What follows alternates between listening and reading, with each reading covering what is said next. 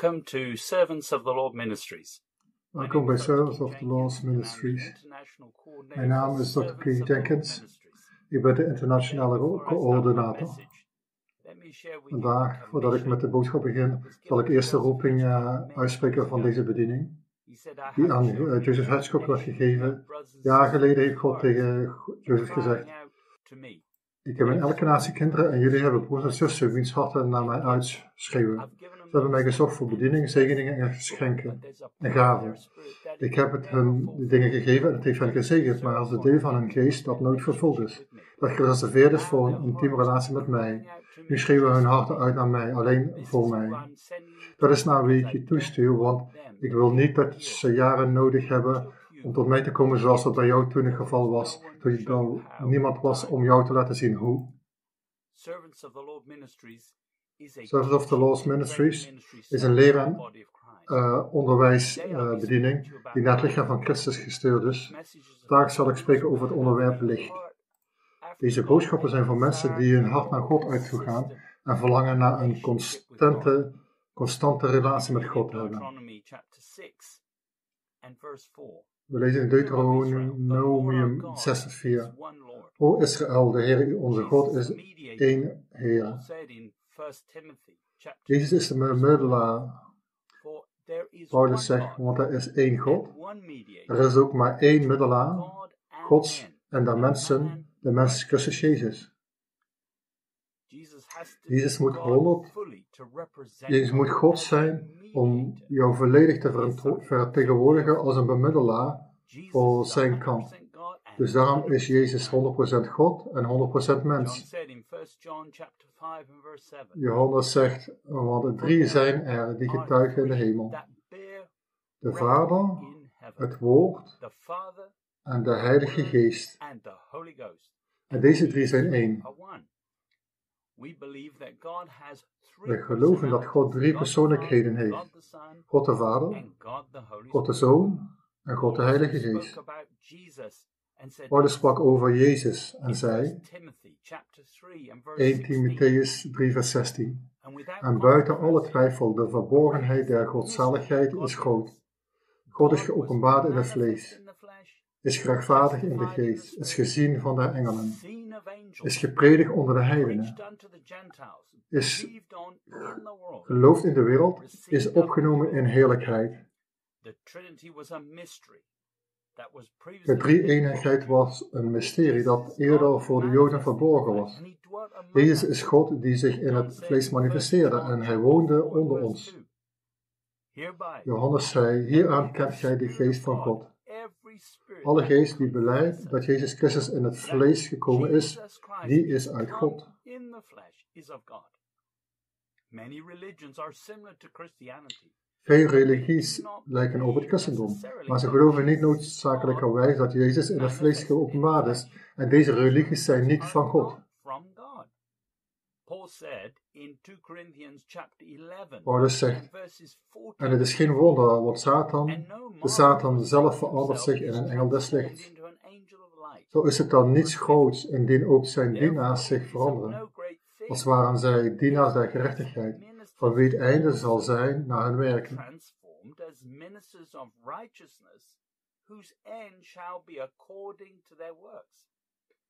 Je kunt het de duivel niet kwalijk nemen dat hij in een grote organisatie wordt bedrogen en door Satan wordt gebruikt om anderen te bedriegen. Je zult eh, populair zijn als je ervoor kiest om gerechtigheid te prediken zonder berouw van dode werken. Paulus zegt daarom, nalaten het beginsel van de leer van Christus laat ons tot de volmaaktheid voortvaren, niet wederom willeggende het fundament van de bekering van dode werken en van het geloof in God. Alleen wie naar de Heilige Geest luistert, die is de goddelijke natuur. Dat is de goddelijke natuur in ons, kan zichzelf verkeren. Degenen die proberen zichzelf te veranderen, zullen falen. Johannes zegt, en dit is de verkondiging dat wij van hem gehoord hebben. En wij, wij verkondigen dat God een licht is en gans geen duisternis in hem is. Omdat God licht is, kunnen we concluderen dat Jezus ook licht is, dat zich in het vlees manifesteert. Jezus heeft zich in zijn menselijke rol volledig aan de Vader overgegeven.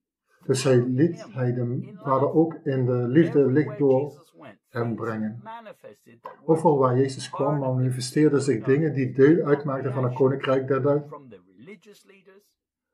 duisternis. Hij kreeg reacties van de religieuze leiders die dienaren van de duivel waren. Jullie krijgen soortgelijke reacties van religieuze leiders als, je, als jullie op het smalle pad wandelen. Johannes 8, vers 42 tot en met 47. En Jezus dan zeide tot hem, indien God uw vader was, zo zoudt gij mij liefhebben, want ik ben van God uitgegaan en kom van hem. Want ik ben ook van mezelf niet gekomen, maar hij heeft mij gezonden. Waarom kent gij mijn spraak niet? Het is omdat gij mijn woord niet kunt horen. Je zei dat de vader de duivel en wilt de begeerte van uw vader doen. U was een mensenmoordenaar van de beginnen. En er is in de waarheid, en is in de waarheid niet staande gebleven. Want, ze, want geen waarheid is in hem. Wanneer hij de leugen spreekt, zo spreekt hij uit wat hem eigen is. Want hij is een leugenaar en de vader der leugen. Maar mij, omdat ik u de waarheid zeg, gelooft gij niet. Wie van u overtuigt mij van zonde? En indien ik de waarheid zeg, waarom gelooft gij mij niet? Die uit God is, hoort de woorden Gods. Daarom hoort gij, mij, hoort gij niet, omdat gij uit God niet zijt. Vers 47. And he that is of God hears God's words. Ye therefore hear them not, because you are not of God. De Joden waren onwetend in dienst van de duivel, maar verzetten zich hardnekkig, hardnekkig tegen de waarheid, omdat de leer van Jezus hun slechte vruchten van aan het licht bracht. Ze hielden niet van de waarheid, omdat Jezus de waarheid is, en ze probeerden hem in plaats daarvan te doden. Lezen in Jeremia 17, vers 10. Ik, de Heere, doorgrond het hart en proef de nieren. En dat om een ieder te geven naar zijn wegen, naar de vrucht van zijn handelingen. Johannes beleefde Jezus persoonlijk en zag aan de lijve hoe Jezus reageerde op de druk van het leven. Hoe hij de Joden en de religieuze leiders antwoordde. Hij deed altijd het juiste en deed geen concessies aan de waarheid. Er was geen duisternis in deze, er was geen duisternis in deze wereld die Jezus kon vasthouden. We lezen, het volk dat in duisternis zat, heeft een groot licht gezien. En hun die zaten in het land in de schaduw des doods, hun is een licht opgegaan. Zelfs de demonen moesten vluchten. De dood zelf kon hem niet vasthouden. Johannes zegt, hetgeen van de beginnen was, hetgeen wij gehoord hebben, hetgeen wij gezien hebben, met onze ogen, hetgeen wij aanschouwen hebben, en onze handen getast hebben van het woord des levens. Want het, is, want het leven is geopenbaard en wij hebben het gezien. En wij getuigen en verkondigen u dat eeuwig leven, het welk bij de Vader was en ons is geopenbaard. Hetgeen wij dan gezien en gehoord hebben, dat verkondigen wij, opdat ook gij met ons gemeenschap zoudt hebben. En deze onze gemeenschap ook zij met de Vader en met zijn Zoon Jezus Christus. And truly our fellowship is with the Father and with his Son Velen kwamen naar Jezus luisteren. De, de menigte kwam voor de wonderen, maar Johannes leerde Jezus kennen door hem te volgen en zich aan hem te onderwerpen. Johannes moest de gezonde leer verdragen en samen met de andere discipelen gecorrigeerd worden, maar hij verkreeg het eeuwig leven door Christus te volgen. We lezen Johannes 17 vers 1 tot en met 3. Dit heeft Jezus gesproken en hief zijn ogen op naar de hemel en zeide, Vader, de uur is gekomen, verheerlijk uw Zoon, opdat ook uw Zoon u verheerlijke. Gelijk gij hem macht gegeven hebt over alle vlees, opdat al wat gij hem gegeven hebt, hij hun het eeuwig leven geven. En dit is het eeuwig leven, dat zij u kennen, de enige waarachtige God en Jezus Christus die gij gezonden hebt.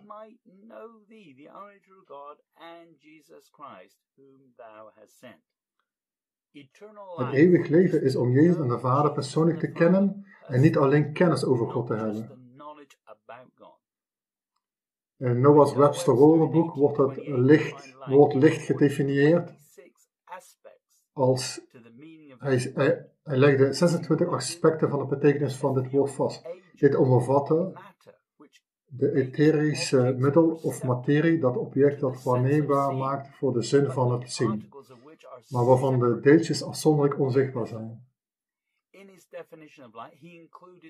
In zijn definitie van licht omvatte hij die vloed van zijn lichtstralen die van de zon komt en die de dag, de dageraad, het leven, het verlichte deel van een beeld, alles wat licht geeft als een lamp, kaas, taper, verlichte torenster, bijvoorbeeld ook instructie, kennis, begrip en wijsheid. Dit is bij de, in de beschrijving van deze video te lezen. Een verwijs naar Daniel 5 vers 14. Ik heb van u gehoord dat de geest der goden in u is, en dat er licht en verstand en voortreffelijke wijsheid in u gevonden wordt. Daniel was anders omdat hij naar de Heilige Geest luisterde. En hij was ook een doener van het woord, een dader van het woord. Jacobus zegt, en wees daders des woords, en niet alleen hoorders. Uzelf met valse overleggingen bedriegende. Want zo iemand een hoorder des woords is, en niet een dader, die is een man gelijk welke zijn aangeboren aangezicht bemerkt in de spiegel.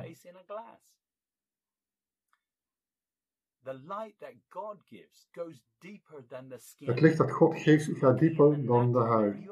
Als je in de natuurlijke spiegel kijkt, zie je alleen wat er aan de oppervlakte is. Maar het doel van Gods licht is dat je jezelf onderzoekt en tot inkeer komt. Anders eindig je gewoon met uiterlijke gerechtigheid. Paulus zegt, ziet gij aan wat voor ogen is? Indien iemand bij zichzelf betrouwt dat hij van Christus is, die denken dit weer uit zichzelf. Dat gelijk hij van Christus is, als ook wij van Christus zijn.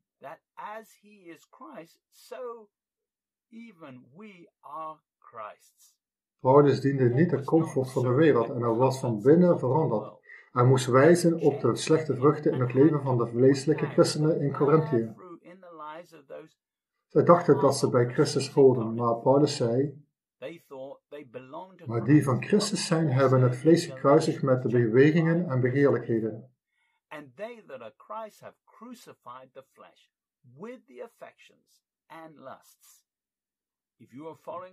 Als je Christus volgt, verloog je jezelf dagelijks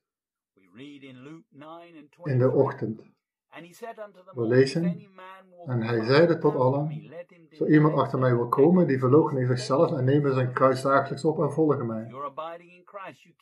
Als je in Christus blijft, blijf je veranderen. Paulus zegt, zo dan indien iemand in Christus is, die is een nieuwe schepsel. Het oude is voorbij gegaan, ziet al, het is alles nieuw geworden. Webster woordenboek zegt ook dat licht een middel is om te weten, te ontdekken, op te merken, een verklaring te geven wanneer het ene deel van de schrift licht op een ander deel werpt. Een raam, een plaats die licht toelaat om binnen te komen of een ruit. In de schrift is God het licht, de bron van kennis. Christus het ware licht, dat elke mens in de wereld die in de wereld komt verlicht. Vreugde, troost, felheid voor de rechtvaardigheid, redding van kennis, welvaart, geluk. Wat het betreft het fysieke licht, zegt Webster, er wordt nu algemeen aangenomen dat licht een vloeistof is, of een echte materie die onafhankelijk van andere stoffen bestaat, met eigenschappen die eigen zijn aan zichzelf. De snelheid ervan is verbazingwekkend, omdat het door een ruimte van bijna 12 miljoen mijlen in een minuut gaat. Licht, wanneer het wordt ontbonden, blijkt te bestaan uit stralen met verschillende kleuren, zoals rood, oranje, geel, groen, blauw, indigo en violet.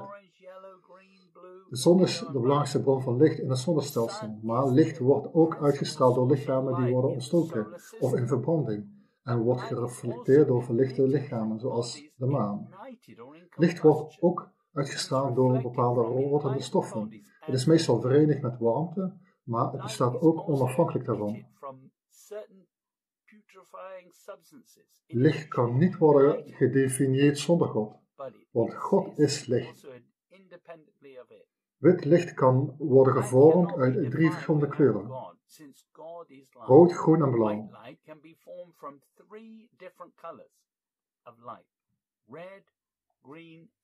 Jezus zeide tot hem, ik ben de weg de waarheid en het leven. Niemand komt tot de Vader dan door mij.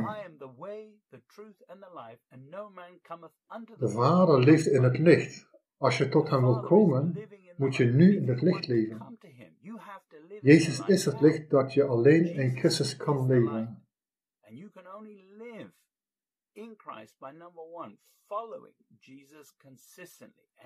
Met de volgende punt 1. Jezus consequent volgen en dat doe je door jezelf dagelijks te verloochenen en je kruis op te nemen. 2. De waarheid gehoorzamen en door regelmatig berouw zijn, berouw van zonde zijn, zullen jullie bereid zijn van leugens en duisternis. 3. Met God verbonden zijn door genade, door geloof en zodat jullie zijn volmaakte wil kunnen doen en meer licht ontvangen.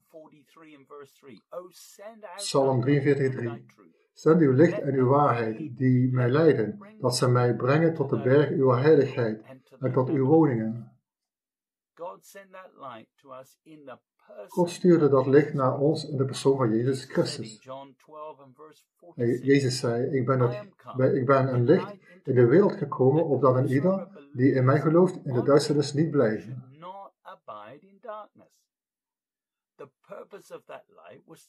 Het doel van dat licht was om je te bevrijden van de duisternis.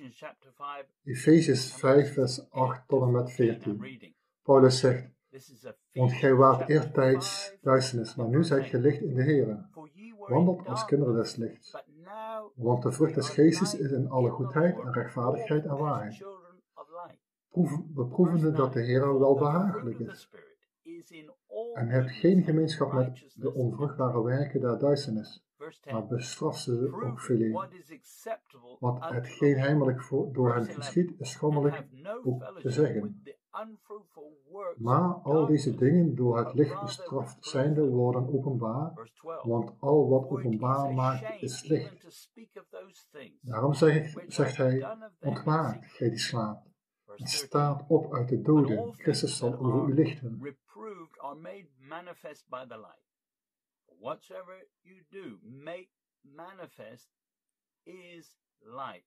Genade kwam ook met de waarheid om jou de tijd te geven om je te bekeren van je zonde en jezelf te leren.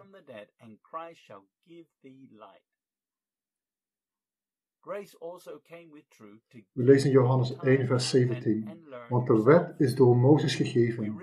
De genade en de waarheid is door Jezus Christus gekomen. Zonder genade en waarheid kunnen we niet in zijn aanwezigheid komen en in het licht blijven. Er is een beginperiode waarin je het licht binnengaat, zelfs als er nog zonde in je leven is. Maar volgens Efeziërs 5 zijn kinderen van het licht.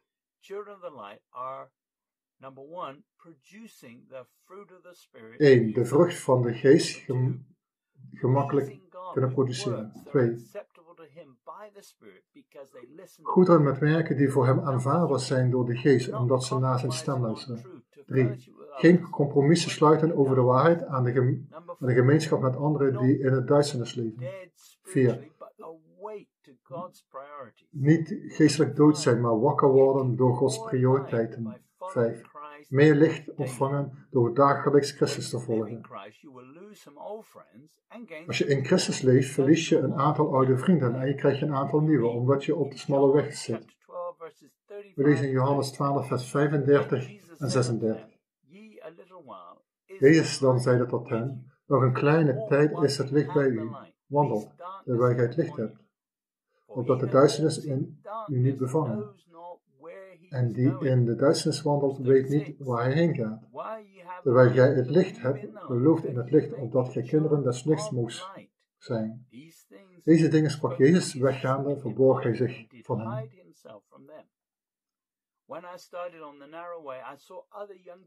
Toen ik op het smalle weg begon, zag ik andere jongeren het comfort van het vlees in hun eigen wijsheid volgen. Later hadden ze geen tijd meer En God gebruikte ze niet omdat ze niet geestelijk groeiden.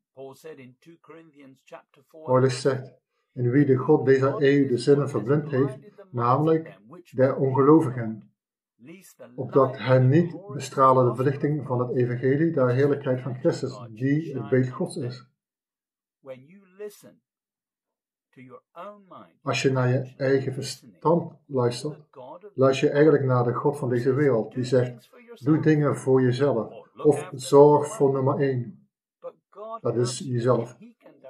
Maar God houdt van je en hij kan je leiden en houden, behouden. Iedereen kreeg een bepaalde hoeveelheid tijd om in hem te geloven en te vertrouwen en om hem als Heer te aanvaarden en zijn stem te leren horen. We lezen, de Joden dan omringden hem en ze zeiden tot hem, hoe lang houdt gij onze ziel op? Indien gij de Christus zijt, zeg het ons vrij uit. Jezus antwoordde hem, ik heb het u gezegd en jij, en gij gelooft het niet. De werken die ik doe in mijn naam, in de naam mijn vaders, die getuigen van mij. Maar gij gelooft niet, want gij zijt niet van mijn schapen, gelijk ik u gezegd heb. Mijn schapen horen mijn stem. En ik ken ze, en ze volgen mij. De Joden, de Joden waren Gods uitverkoren, maar ze waren blind en ze hoorden zijn stem niet en herkenden Jezus ook niet aan de werken van de Vader. In het boek Wakker worden de tijdrijk op, deel 2, schrijft Joseph Hedgecock. Satan komt als een engel van het licht om ons te misleiden. 2 Corinthians 11 vers 14. Hij verleidt ons om onze natuurlijke verstand te gebruiken om het evangelie te begrijpen. Als hij ons kan overtuigen van natuurlijke leermethodes te gebruiken, is het gemakkelijk voor hem om ons gevangen te nemen met manier, op manieren die juist lijken. Deze methoden werken alleen in de oude natuur.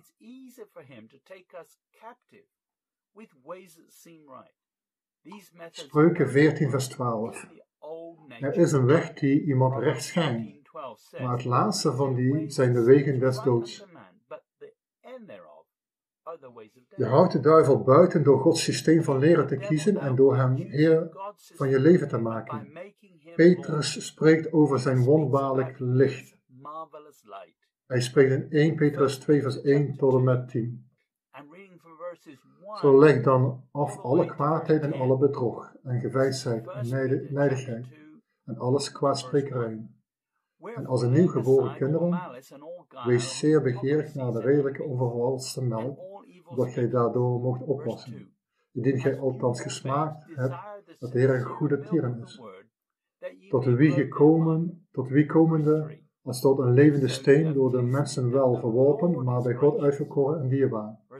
Zo wordt gij ook zelf als levende stenen gebouwd tot een geestelijk huis, tot een heilig priesterdom, om geestelijke offeranden op te offeren, die goden aangenaam zijn door Jezus Christus. Daarom is ook vervat in de schrift, ziet, ik leg in Sion een uiterste hoeksteen, die uitverkoren en dierbaar is, en die in hem gelooft zal niet beschaamd worden. U dan, die gelooft, is hij dierbaar, maar de ongehoorzame wordt, gezegd, een steen die de bouwlieden verworpen hebben, deze is geworden tot een hoofd des hoeks, en een steen des aanstoots, en een rots de ergernis. Hun namelijk, die zich aan het woord stoten, ongehoorzaam zijnde, waartoe zij ook gezet zijn. Maar gij zijt een uitverkoren geslacht, een koninklijk priesterdom, een heilig volk, een verkregen volk, opdat gij zoudt verkondigen de deugden van hem, die u uit de duisternis geroepen heeft tot zijn wonderbaar licht. Gij die eertijds geen volk waart, maar nu Gods volk zijt, die eertijds niet ontfermd waart, maar nu ontfermd zijt geworden. Are a chosen generation, a royal priesthood, an holy nation, a peculiar people, that ye should show forth the praises of him who hath called you out of darkness into his marvelous light. Verse 10. Which in times past de wereld heeft de heerschappij van Christus afgewezen, zodat ze kunnen doen wat ze willen. Je zou nog steeds in jezelf kunnen geloven of in je eigen kunnen, als je je eerste werken niet goed deed. Misleid jezelf niet. Je hebt nog steeds een hardnekkig geloof in jezelf omdat je ook wilt doen wat je wilt, net als iedereen. Het aanbod hier is om naar hem toe te komen. 1 Petrus 2 vers 5 in de Amplified Bible zegt, Kom en wees als levende stenen, wees zelf gebouwd in een geestelijk huis, voor een heilig, toegewijd, gewijde priesterschap, om die geestelijke offers te brengen die door Jezus Christus acceptabel en aangenaam zijn voor God.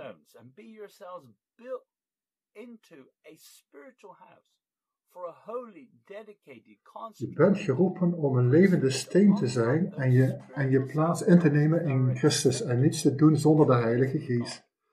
Dat is, waar jouw geest, dat is wat jou geestelijk maakt. Dan doe je geen dode religieuze werken meer, maar je brengt geestelijke offers die God welgevallig zijn. Het woord steen in Strongs woordenboek wordt vertaald als een steen of letterlijk figuurlijk een molen, struikelsteen. Jouw nieuwe leven kan vreemd lijken voor anderen omdat je leven nu gebaseerd is op wat God stuurt en niets anders. Anderen doen gewoon wat ze willen wanneer ze dat willen. Ze zullen het niet begrijpen.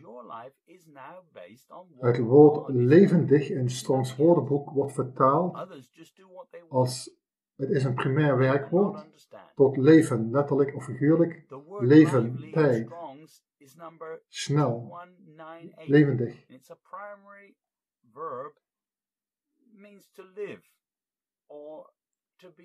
Je moet beginnen als een molensteen voor Jezus. Je bent sowieso zo een standbeeld zonder God.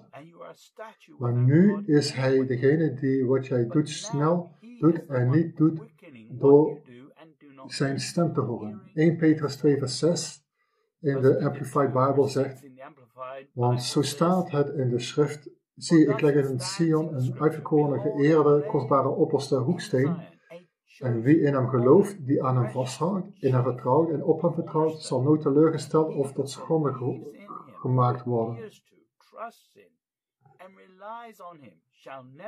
Wat op de hoeksteen gebouwd is, is kostbaar, want Jezus is Heer en wat via jou van God komt, is kostbaar. Je wordt een juweel als je zijn leven door jou laat stromen door de Heilige Geest, de gehoorzamen. Het woord geloof in de Amplified Bible betekent dat je aan hem vasthoudt, op hem vertrouwt en op hem toevertrouwt en je niet, en je niet vastklampt aan enige wereldse troost. Het woord wonderbaarlijk in Strongs woordenboek wordt vertaald als uh, verwonderd op. Dat wil zeggen impliciet wonder, wonderbaar. Wonderbaarlijk. Misschien geloof je niet dat Gods licht wonderbaarlijk is, omdat je nog steeds lauw bent. Je gelooft niet dat God echt van je houdt. Paulus zegt, maar zonder geloof is het onmogelijk God te behagen. Want die tot God komt, moet geloven dat Hij is, een beloner die van hem die hem zoeken. Als je tot God komt, moet je geloven dat Hij ook liefde is, want God is liefde. De beloningen zullen later komen door zijn bevelen te zoeken. The rewards will come later through seeking his commands. 1 Johannes 4 vers 16. En we hebben gekend en geloofd de liefde die God tot ons heeft. God is liefde en die in de liefde blijft, blijft in God en God in hem. Als je aan Gods liefde twijfelt, dan open je niet echt je hart voor hem. Alleen wie gelooft dat God liefde is, kan zijn liefde ontvangen.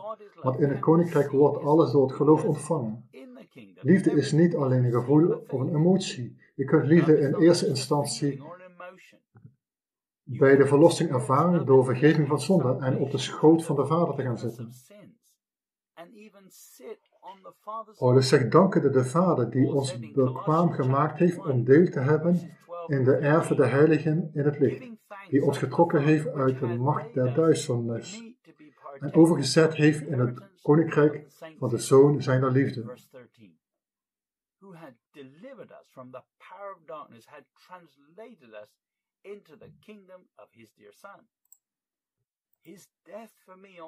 Zijn dood voor mij aan de kruis ontroerde mijn emoties. Maar ik deed mijn eerste werk niet goed. Op het moment van mijn verlossing oogste ik de gevolgen van mijn eigen zonde en ongehoorzaamheid. Ik gaf mijn nieuwe start. Ik kreeg de vreugde van de Heer en de vrede van God. Onze erfenis is echter gebaseerd op het leven in het licht. Volgens Paulus niet op bezoek gaan bij het licht. Na mijn eerste ervaring met de, met de verlossing werd mij verteld dat ik nu in Christus ben. Maar ik, heb, ik had me niet aan Christus onderworpen en ik had hem niet Heer van mijn leven gemaakt. Ik misleidde mezelf dat ik in hem was, maar oude dingen gingen niet voorbij. En ik kwam gewoon niet op de smalle weg. Hier zegt in zegt, gaat in door de enge poort, want wij is de poort en breed is de weg die tot het verderf leidt. En velen zijn er die daardoor ingaan. Want de poort is eng en de weg is nauw die tot het leven leidt. En weinigen zijn er die deze vinden. Het vlees zal altijd reageren op Gods wegen. Op de smalle weg moet je op God vertrouwen. Niet voor één gebeurtenis, maar voor elke stap. Het is ongemakkelijk voor het vlees op de smalle weg, en het vlees zal sterven. Maar in zijn koninkrijk is er vrede en vreugde om dat te compenseren. Paulus zegt, want het koninkrijk God is niet spijs en drank, maar rechtvaardigheid en vrede en blijdschap door de Heilige Geest. Het koninkrijk van God is de enige veilige plaats die de die duivel bestendig is. Geloven dat hij van jou houdt vereist een stap in het geloof. Als je naar je eigen gevoelens en emoties luistert, zul je dat niet geloven. Als Jezus jouw eerste liefde is, laat je niets tussen jou en Hem komen. Misleid jezelf niet. Niets van eeuwige waarde vindt plaats wanneer je door de zonde van Hem bent gescheiden. Ik hoorde Joseph Hedgehog altijd in zijn boodschappen zeggen: Ik ben een van de e- snelste uh, berouwvolle mensen in de branche. Jozef was in staat om in onmiddellijk in terug te komen in Gods aanwezigheid en te leren van zijn fouten, zijn liefde, vreugde en vrede ervaren. Paulus zegt, laat ons dan met vrijmoedigheid toegaan tot de troon der genade, opdat wij barmhartigheid mogen krijgen en genade vinden om geholpen te worden te bekwame tijd. Als je nog steeds niet onmiddellijk terug kunt komen in Gods aanwezigheid, heb je een beetje ongeloof en dat zal je belemmeren om binnen te komen. Paulus zegt, en wij zien dat zij niet hebben kunnen ingaan vanwege hun ongeloof. De wortel van alle ongeloof is een leugen waarvan je gelooft dat het de waarheid is. De duivel kan je niet misleiden. Maar Satan kan, krijgt de overwinning omdat je nog steeds meer van de wereld en van het comfort van het vlees houdt dan van God. Openbaringen 12 vers 11. En zij hebben hem overwonnen door het bloed van het lam en door het woord van hun getuigenis. En zij hebben hun leven niet lief gehad tot de dood toe. Je moet nu geestelijk overspel opbiechten als je van jezelf houdt. Je moet geloven dat er geen veroordeling is in Christus. Paulus zegt, zo is er dan nu geen verdoemenis voor hen die in Christus Jezus zijn, die niet naar het vlees wandelen, maar naar de geest. In het boek Wakker worden, de tijd raakt op deel 2, schrijft Joseph Hedgehog, hoe complex het koninkrijk van God ook is, je kunt er als kind komen en toegang krijgen tot technologie die de natuurlijke geest niet kan begrijpen. Denk aan elektriciteit en het aanzetten van het licht in de donkere kamer. Je hoeft niet te weten hoe elektriciteit werkt. Je hebt er vertrouwen in dat als je de schakelaar aanzet, het licht zal gaan branden. Het is hetzelfde met Gods technologie. Je hoeft niet te weten hoe het werkt om als kind tot Hem te komen en toegang te krijgen tot Zijn technologie. Je kunt in Zijn schoot omhoog kruipen en genieten van de gemeenschap met Hem. Je kunt Zijn liefde voor jou voelen. Je kunt Hem tot jouw hart horen spreken. Je kunt toegang krijgen tot de grootste kracht in het universum. Door eenvoudig weg stil te zijn en te weten dat Hij God is.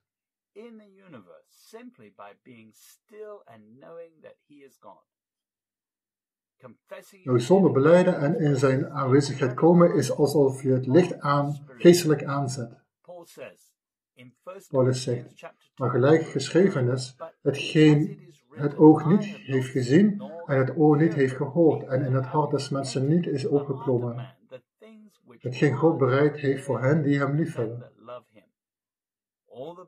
Alle veroordelingen zijn voor hen die Jezus als hun eerste liefde hebben. Alle voordelen zijn voor hen die Jezus als hun eerste liefde hebben. Jullie zullen het koninkrijk van God, van, God gescheiden van hem niet begrijpen. Paulus zegt hem nu die machtig is meer dan overvloedig te worden, boven al wat wij bidden of denken, naar de kracht die in ons werkt. Liefde is de bron van die kracht. Liefde is de grootste kracht op de aarde. Dit is spannend, maar we moeten nu in het licht van het geloof leven. Geloof is niet gebaseerd op wat je met je eigen ogen kunt zien. Paulus zegt, want wij wandelen door geloof en niet door aanschouwen. In het boek Wakker worden de tijd op deel 2 schrijft Joseph Hedgecock, waarheid wordt geopenbaard en bevestigd door de geest van God. Alles wat je gelooft moet door de geest bevestigd worden, voordat je je geloof erin vrijzet. Herinner je eraan, wat je denkt te weten belemmert je om te weten wat God wil dat je weet. Geloof is gebaseerd op het horen van God uit genade door geloof. Petrus zegt, waardoor ons de grootste en dierbare beloften geschonken zijn, opdat gij daardoor de goddelijke natuur deelachtig zult worden, nadat gij ontvlucht zijt het verderf dat in de wereld is door de begeerlijkheid. Als je op hem vertrouwt en naar zijn stem voor richting luistert, krijg je in plaats daarvan een kostbare belofte, zodat je aan de corruptie in deze wereld kunt ontsnappen en de diener van God kunt worden. Je zult niet teleurgesteld of te schande gemaakt worden. Paulus gebruikte de genade van God en het licht om, in de en het licht om de verdorvenheid in hem te verwijderen door middel van berouw. Hij kreeg geen concessies aan de heerschappij van Christus. Paulus zegt, naar de genade Gods die mij gegeven is, heb ik als een wijs bouwmeester het fundament gelegd.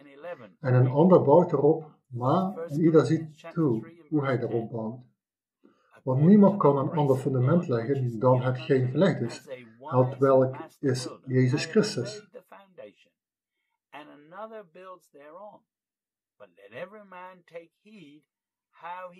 De mens heeft de heerschappij van Jezus verworpen, maar de heerschappij van Christus is wat alles doet werken. Zijn heerschappij door de Heilige Geest is nu de sleutel tot verlossing heiliging en een manier van leven geworden. Psalm 118, 22 en 23. De steen die de bouwlieden verworpen hadden, is tot een hoofd der hoeks geworden. Dit is van de Heer geschied en het is wonderlijk in onze ogen.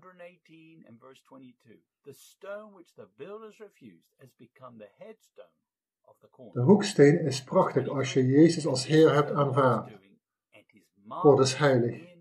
Maar misschien twijfel je en kan je niet terugkomen in zijn aanwezigheid. Misschien moet je je eerste werken herzien. Je bent door genade, door geloof gered. Herzie de volgende punten. 1. De geest in jou betekent dat je geroepen bent om heilig te zijn. Petrus zegt, maar gelijk hij die u geroepen heeft heilig is, zo wordt ook gij zelf heilig in al uw wandel. Heiligheid is niet negatief. Openbaring is licht dat een gebied van duisternis onthult waar je in loopt, gebruikmakend van je eigen verstand. Je weet op elk, je weet op welke manier je nog steeds door de duivel door jouw vlees wordt beheerst. 2. Veroordeling is over, overtuigen van zonde is een zegen. Overtuigen van zonde is ook een hoop op de glorie en een teken dat je gekozen bent. Paulus zegt, maar we zijn schuldig altijd God te danken over uw broeders die door de Heere bemind zijt, dat u God van de beginnen verkoren heeft tot zaligheid, in heiligmaking des geestes en geloof der waarheid. De geest zal niet getuigen van slechte vruchten, zodat je het herkent en berouw hebt. God zal je, op het, zal je ook helpen om tot de wortel van de zonde te komen. Als God jou heeft uitverkoren om je te bekeren, denk God dat je veranderd kan worden en niets is te moeilijk voor hem. 3. Hij verzet zich ook tegen het vlees in ons omdat hij van ons houdt. Jezus zegt in openbaringen 3 vers 19. Zo wie ik lief heb, die bestraf en kastijd ik. Wees dan ijverig en bekeer u. Hij is niet corrupt en verblind door valse nederigheid en daden van zelfopoffering. 4. Je voelt je onzeker in deze wereld. Dit is geweldig omdat je op de smalle weg moet gaan en je zekerheid in hem moet zijn. Maak geen excuses. 5. Als je de lust van het vlees hebt en niet gemakkelijk kan doen wat je wilt, is dat ook een zegen. Joseph Hitchcock zag dit in zijn leven ook gebeuren omdat hij goddelijke ouders had. God maakt het moeilijker voor jou om te genieten en de lust van je vlees te dienen, want dat gaat de verkeerde kant op. Hij verzet zich tegen jou omdat hij van je houdt en jij speciaal voor hem bent. 6. Zijn roeping op je leven is gebaseerd op je onvermogen en niet op je vermogen om het juiste te doen. Paulus zegt, en het onedele der wereld en het verachten heeft God uitverkoren, en hetgeen niets is, opdat hij, hij hetgeen iets is, te niets zal maken. God accepteert jou zoals je bent, zodat je niet in een geest van angst dient die gebaseerd is op perfecte prestaties. Hij investeert in jou vanwege je onvermogen om iets te doen. Er is sowieso niets goeds in jou. Als je dacht dat je nog steeds goed bent, zou hij je moeten weerstaan. Jezus zegt, zalig zijn de zachtmoedigen, want ze zullen het aardrijk beërven.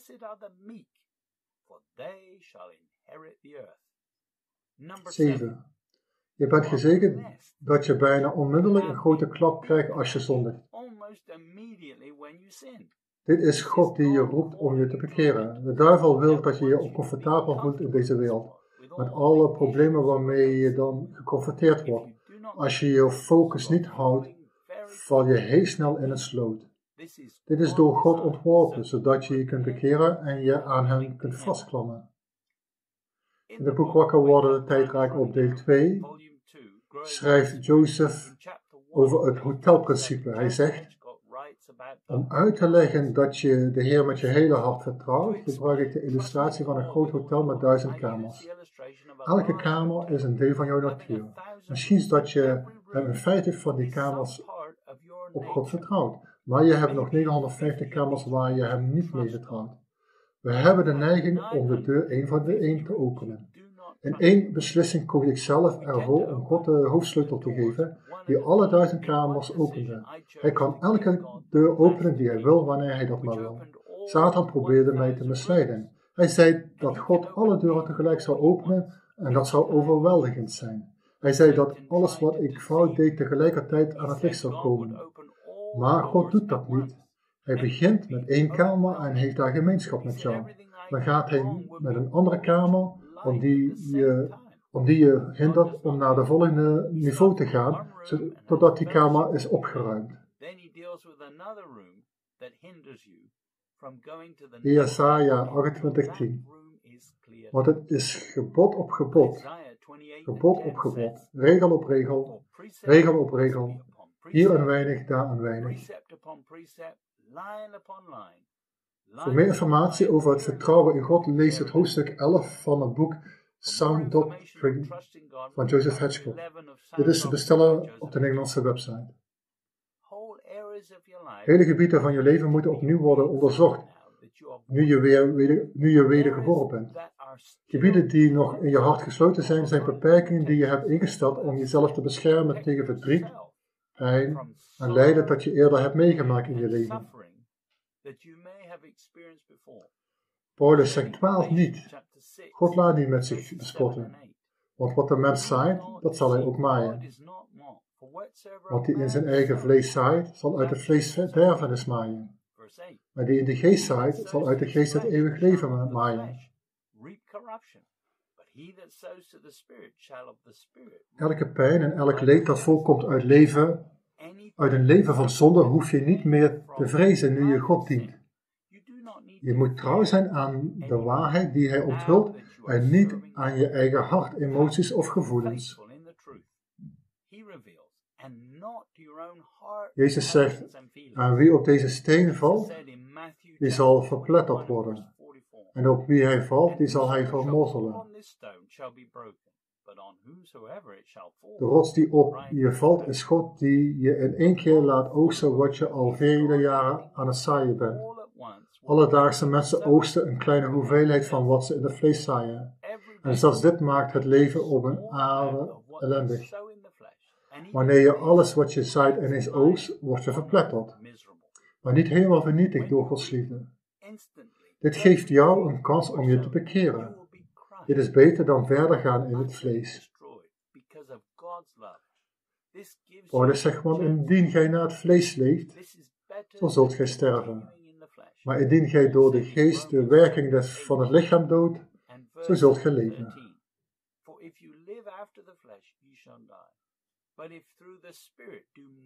Als je Jezus Christus niet van je leven, niet Heer van je leven hebt gemaakt, doe dat dan nu. De beste optie is om op de rots, rots te vallen en gebroken te worden. Geef toe dat je je eigen verstand hebt gebruikt om beslissingen te nemen en Hij zal je een nieuwe start geven. Jezus zegt, zalig zijn de armen van geest, want hunner is het koninkrijk der hemelen.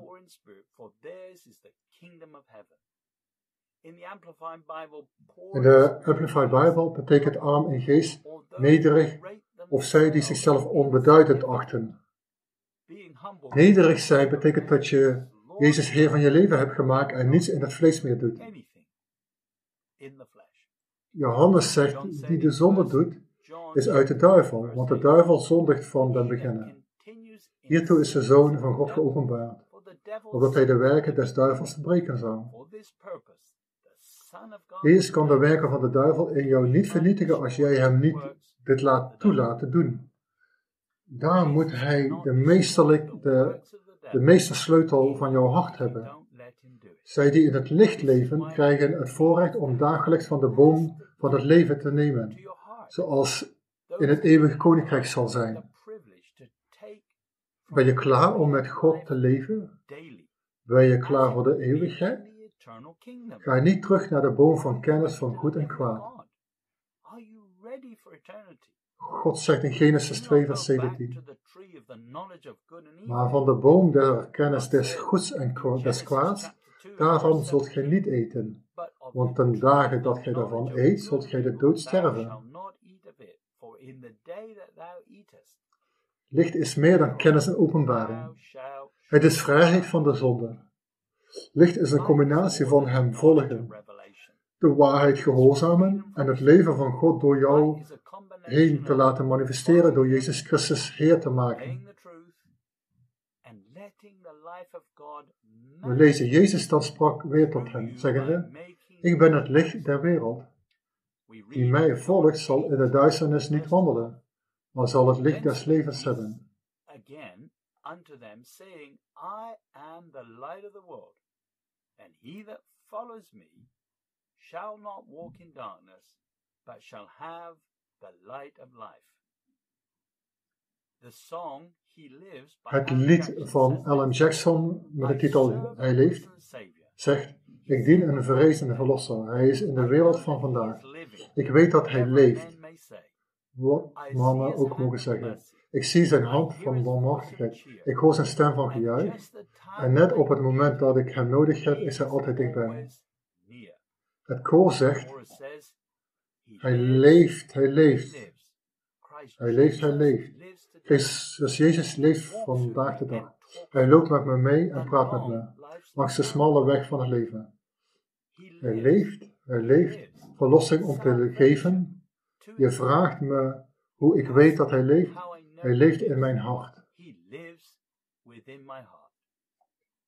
Op de smalle weg krijg ik informatie op een need-to-know basis. Dus uh, ik krijg informatie wanneer je het echt nodig hebt. Psalm 36:9. Ze worden dronken van de vettigheid in uw huis, en gij drinkt hen uit de beek van uw lieflijkheden.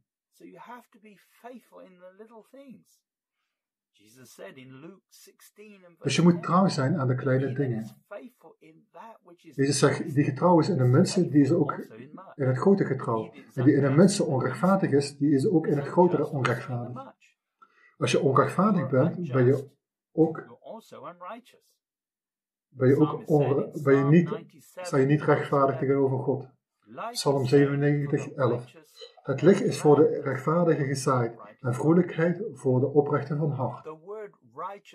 Het woord rechtvaardig betekent hier in Psalm 97, vers 11 in de Amplified Bible compromisloos rechtvaardig. Rechtvaardigheid is consequent de juiste dingen doen omdat de Heer, hij Heer is, niet omdat je een andere set regels volgt. Johannes zegt, en ieder die in hem blijft, die zondigt niet. En ieder die zondigt, die heeft hem niet gezien en heeft hem niet gekend. Kinderkens, dat u niemand verleiden. Die de rechtvaardigheid doet, die is rechtvaardig, gelijk hij rechtvaardig is.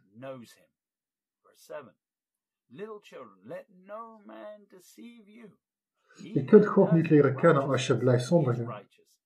Je moet met hem verbonden blijven. Gods gerechtigheid houdt in dat je niet teruggaat naar je eigen vlees en niet probeert je eigen wil te doen. Zonde is alles wat in strijd is met Gods volmaakte wil in gedachten, doel en handelen. Het woord rechtop in de psalm wordt uh, vertaald door Strongs woordenboek als volgt. Rechtop, letterlijk figuurlijk, handig, willig, gewoon ontmoeten, blij, goed, rechtvaardig, rechtop, meeste.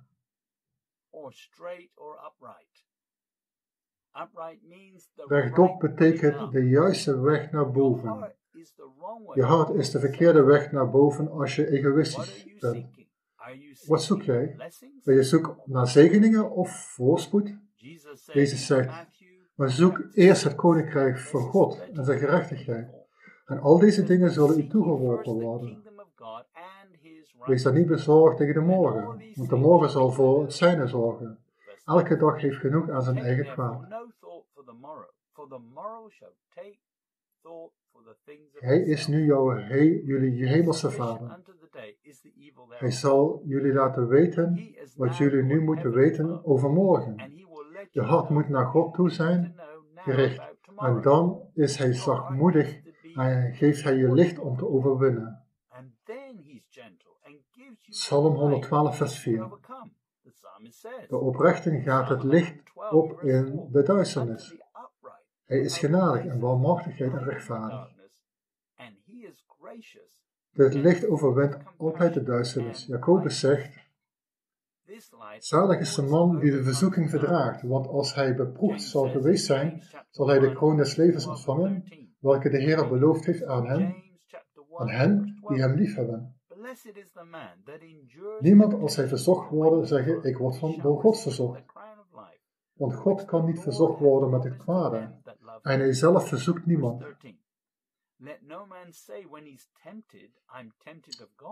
Jouw liefde voor Jezus is de kracht om nee te zeggen tegen zonde als je in Christus Jezus ligt. God staat boven corruptie en hij is nooit verkeerd. Zijn motief is altijd liefde. Je moet geloven dat hij van jou houdt, op welke manier hij nu ook met je omgaat. Hij riep jou en kan, kan duidelijk zien. Je zondige, je zondigt door eerst naar de verkeerde stem te luisteren en daarom word je gecorrigeerd. Paulus zegt in Hebreeën 12 vers 11 tot en met 15.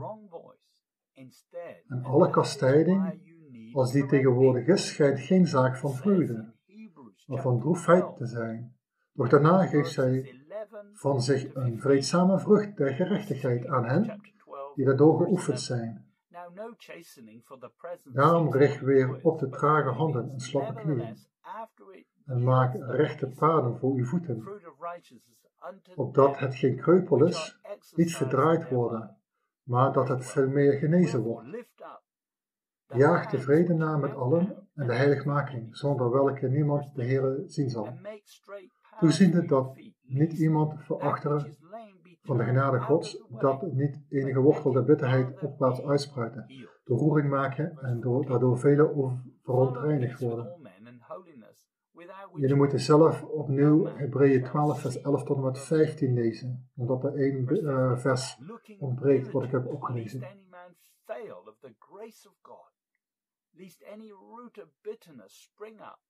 Gods kastijding maakt deel uit van het leven in het licht. Gebruik de genade om God te zoeken, zodat je altijd gehoorzaam bent aan de Heilige Geest. Paulus zegt alzo dan, mijn geliefde, gelijk gij te alle tijd gehoorzaam geweest zijt, niet als in mijn tegenwoordigheid alleen, maar veel meer nu in mijn afwezen, werk uw zalig, zelfs zaligheid met vrees en beven. Want het is God die in uw werk beide het willen en het werken na zijn welbehagen. Je kunt jezelf niet veranderen met, die, met je verstand, of zelfs maar proberen tot de waarheid te komen op basis van profetieën en andere woorden van openbaringen. Paulus zegt in 1 Corinthians 13, vers 9 tot en met 13, want wij kennen ten dele en wij profiteren ten dele. Doch wanneer het volmaakte zal gekomen zijn, dan zal hetgeen ten dele is, teniet gedaan worden. Toen ik een kind was, sprak ik als een kind, was ik gezind als een kind, overlegde ik als een kind, maar wanneer ik een man geworden ben, zo heb ik niet teniet gedaan hetgeen van een kind was. Want wij zien nu door een spiegel in een duistere reden. Maar als dan zullen wij zien van aangezicht tot aangezicht. Nu ken ik ten dele, maar als dan zal ik kennen gelijk ik ook gekend ben. En nu blijft geloof, hoop en liefde, deze drie. Doch de meeste van deze is de liefde.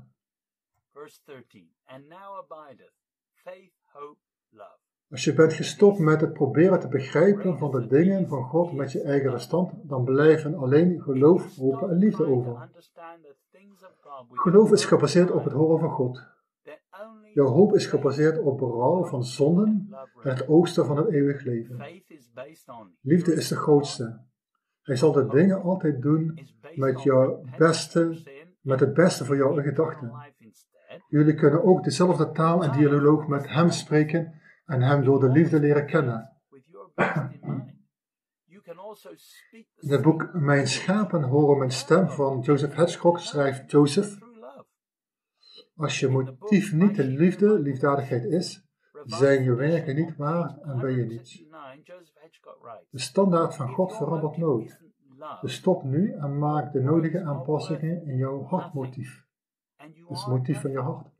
Het enige motief dat God accepteert om hen te zoeken is zuivere liefde en het verlangen om hen te kennen zonder enige persoonlijke of egoïstische agenda.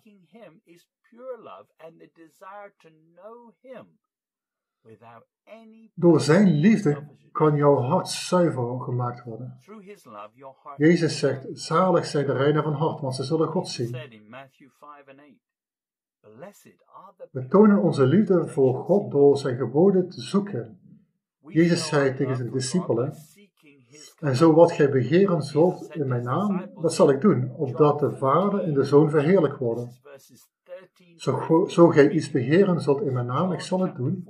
Indien gij mij lief hebt, zo bewaart gij mijn geboden.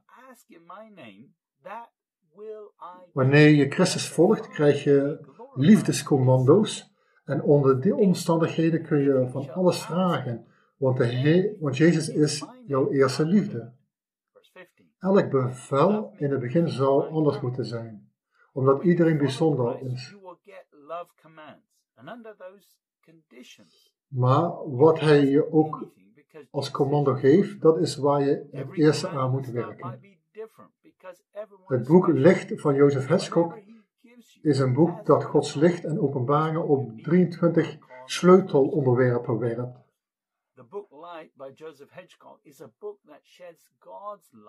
De onderwerpen zijn geloof, autoriteit, oordelen, de vijfvoudige ministerbediening, zalving, drie onfeilbare getuigen, om dat die bevestigen dat je God hoort. Het boek Licht is geschreven voor de kinderen van God die licht zijn in deze wereld van duisternis en die verlangen om nog helderder te kunnen schijnen. Jezus zegt, gij zijt het licht der wereld. Een stad boven op een berg liggende kan niet verborgen zijn. Nog stikt men een kaas aan en zet die onder een korenmaat, maar op een kandelaar en ze schijnt voor allen die in het, in het huis zijn. Laat uw licht also schijnen voor de mensen, die ze, dat zij uw goede werken mogen zien en uw Vader die in de hemelen is verheerlijken. Het vermogen om licht te geven aan anderen is gebaseerd op rechtschapenheid. We lezen in Jesaja 42, 6.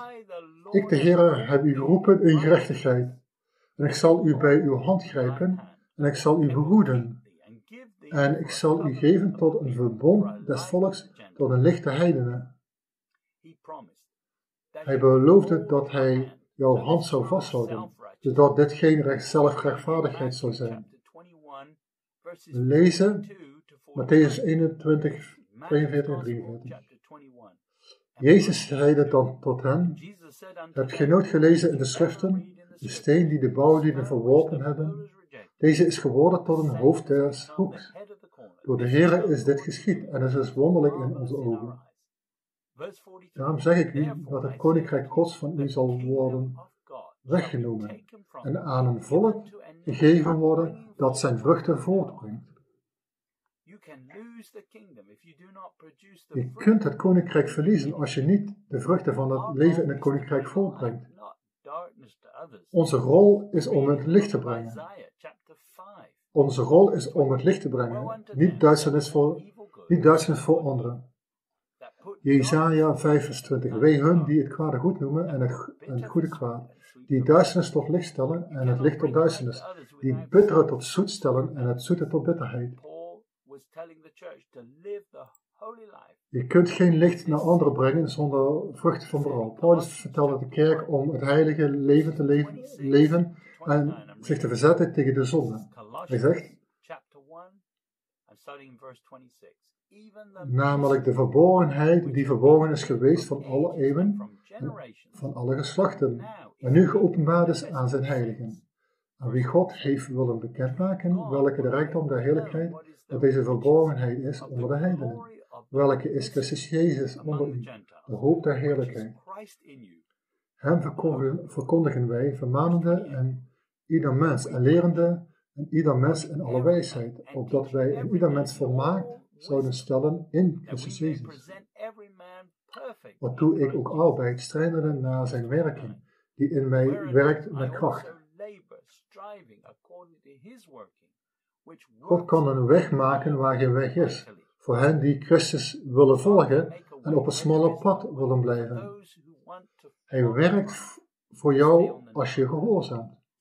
Het christendom is niet zomaar religie, het is een relatie met de levende God. Isaiah 55, vers 10 tot en met 13. Want gelijk de regen en de sneeuw van de hemel nederdaalt, bij hij niet weerkeert, maar doorvochtigt de aarde en maakt dat zij voortbrengt en uitspruit en zaad geeft de zaaier en brood te eten. Also zal mijn woord, dat uit mijn mond uitgaat, ook zijn. Het zal niet ledig tot mij wederkeren maar het zal doen wat mij behaagt, maar het zal voorspoedig zijn in hetgeen waartoe ik het zend. Want in blijdschap zult gij uittrekken, met vrede voortgeleid worden. De bergen en heuvels zijn, zullen schallen, schal maken met vrolijk gezang voor uw aangezicht. En alle bomen des velds zullen de handen samenklappen. Van een doorn zal een dennenboom opgaan. Voor een doorn zal een dennenboom opgaan, voor een dissel zal een myrteboom opgaan. En dat zal de Heere wezen tot een naam, tot een eeuwig teken, dat niet uitgeroeid zal worden. Verse 13. Instead of the thorn shall come up the fir tree. Je kunt het gezegende leven niet leiden zonder van God te horen. Je moet geloven dat Hij de hele tijd tegen je spreekt, want dat, dat, dat is Hij. Hij spreekt en als je in zijn aanwezigheid bent, krijg je precies te horen wat je nu moet weten. Dit is gebaseerd op zijn liefde, karakter en trouw. Je moet gewoon geloven. Geloof is verwachten dat God spreekt. Jesaja 30 vers 21. En uw oren zullen horen en het, het woord van hem, die achter u is, zeggende, dit is de weg, wandelt erin, als gij zoudt afwijken ter rechter of ter linkerhand. Hij vertelt je misschien iets wat je nu niet wilt horen, maar als je goede grond en een zacht hart hebt, zul je het wel kunnen horen. Jezus zegt in Lucas 8, vers 8. En het andere viel op de goede aarde en opgroeide zijnde, bracht het honderdvoudig vruchtvol. Dit zei, zeggende riep hij, wie oren heeft om te horen, die horen. Hij vertelde je misschien iets wat je nu niet wilt horen, maar als je goede grond en een zacht hart hebt, zul je het wel kunnen horen.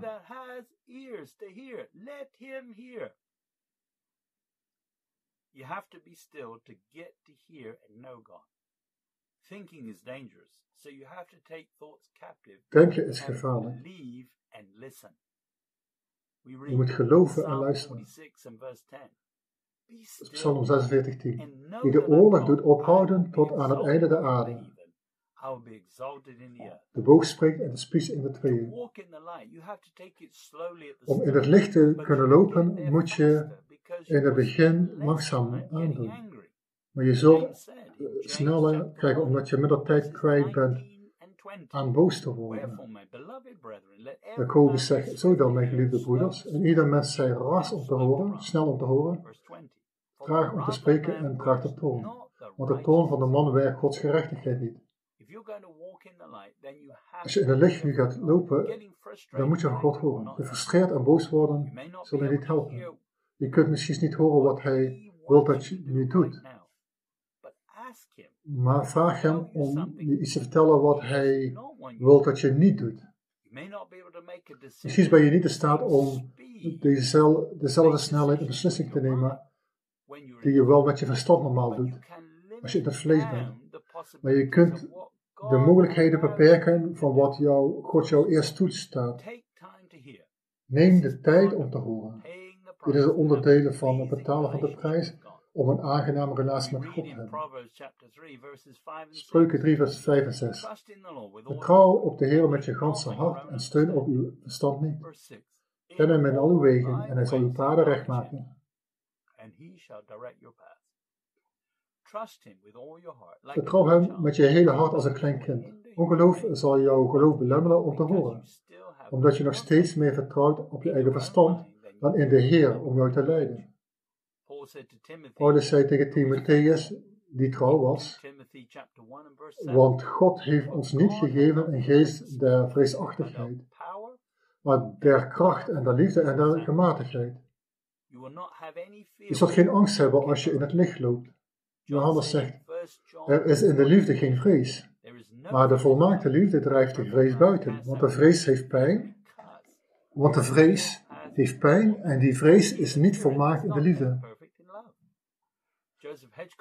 Joseph Hedgecock zou vaak tegen me zeggen dat als God je in een situatie bereidt, is hij ook trouw dat hij je eruit zal leveren.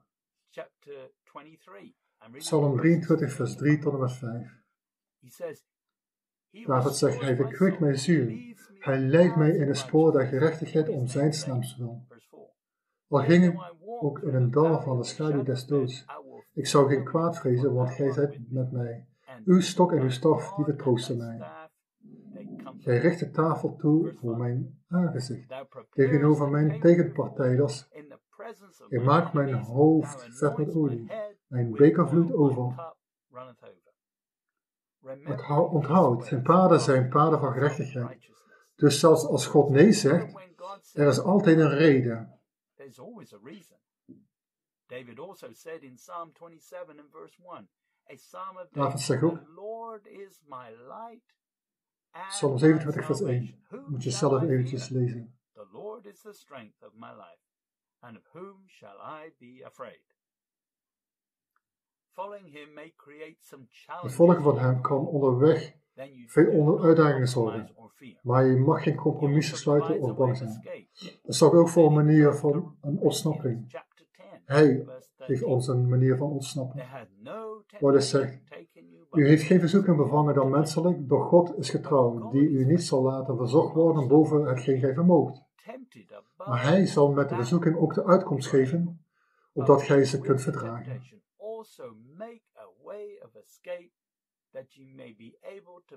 Het overwinnen van de verleiding maakt deel uit van zijn wonderbaarlijke licht, omdat hij het einde van de, vanaf het begin kan zien.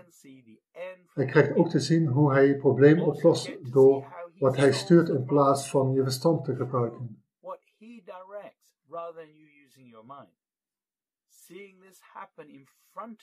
Als je dit ziet gebeuren, is het allemaal onderdeel van Gods geestelijke opvoeding. Jij kwam in dit licht door genade, door geloof.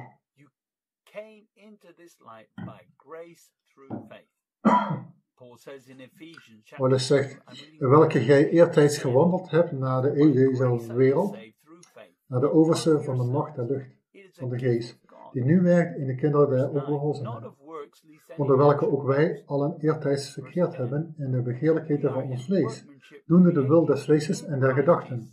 En wij waren van nature kinderen des strooms, gelijk ook de anderen. Want we zijn zijn maaksels, geschapen in Christus Jezus, tot goede werken, welke God voorbereid heeft, opdat wij daarin zouden wandelen. Het doel van Gods liefde is dat je je eigen heerschappij bekeert. Als je nog steeds in staat bent om op te scheppen, heb je je niet bekeerd. Jullie werden allemaal vernietigd door het zaaien naar het vlees. Jullie worden allemaal verondersteld om in het licht te leven, in plaats van de dingen te doen die, die hij van tevoren voor jullie heeft voorbereid. Lucas 9, vers 24 tot met 26. Want zo wie zijn leven zal behouden, die zal het verliezen. Maar zo wie zijn leven zal verliezen, om mijnentwil, die zal behouden. Want wat baat het een mens die de hele wereld zou gewinnen en zichzelf verliezen of schade aan zichzelf zal leiden? Want zo wie zich voor mij en voor mijn woorden zal geschaamd hebben, voor die zal de Zoon des Mensen zich schamen, wanneer hij komen zal in zijn heerlijkheid en in de heerlijkheid des Vaders en van de heilige engelen.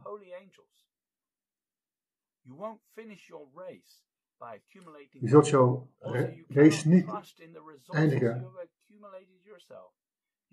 als je op geld vertrouwt. Je moet God zoeken voor de laagste voorwaarden om gered te worden. Je zult, je zult iets moeten opgeven om jouw reis, reis te beëindigen. en klaar te zijn voor zijn verschijning. Het volgen van Christus is een verandering van levensstijl en niet in het dienen van wereldse gemakken. De evangelist Charles Finley leidde veel mensen tot Christus. En in een van zijn na, bij, navraagbijeenkomsten zei hij, het punt was dat er vaak op werd aangedrongen dat om ieder zijn volledige toestemming aan Jezus zou geven. Ze kregen te horen dat de enige moeilijkheid was om zijn eigen eerlijke en serieuze toestemming te krijgen voor de voorwaarden waarop Christus hen zou redden. Er werd hen verteld dat de laagste voorwaarden moesten worden gezocht uh, zo mogelijk gered te worden. Er werd moeite gedaan om de zondaar het zwijgen op te leggen en Christus zijn hele wil hele wil, verzoening, officiële werk en officiële relaties te aanvaarden. Iedereen moet afstand doen van alle zonde, van alle verontschuldigingen, van alle ongeloof, van alle hardheid van het hart en van elk kwaad. In het, in het hart en in het leven hier, nu en voor altijd. We waren allemaal volkomen smerig ten tijde van onze bekering. Besef je dat we nauwelijks gered bent door genade en geloof en dat je eigenlijk de hel zou verdienen? Petrus zegt, en indien de rechtvaardige nauwelijks zalig wordt, waar zal de overdeloze en zondaar verschijnen? Degenen die teruggaan naar vlees en goede werken doen, hebben hun eigen werken niet goed gedaan en zullen niet in het licht komen en gecorrigeerd worden. Jezus zegt, kom herwaarts tot mij, allen die vermoeid en belast zijn. Ik zal u rust geven. Neemt mijn juk op u en leer van mij dat ik zachtmoedig ben en nederig van hart en je zult rust vinden voor uw zielen. Want mijn juk is zacht en mijn last is licht. Verse 29. Take my yoke upon you and learn of me, for I am meek Comfortabele christenen zien de zonde vaak als het hebben van een beetje plezier in het leven en dat God het probleem is. Velen geloven een leugen dat als je God dient, je nooit meer plezier zult hebben voor de rest van je leven. Als je die leugen gelooft, leef je nog steeds in de duisternis. God is nooit het probleem. We lezen in Psalm 18, vers 28. Want gij verlost het bedrukte volk, maar de hoge ogen vernedert gij.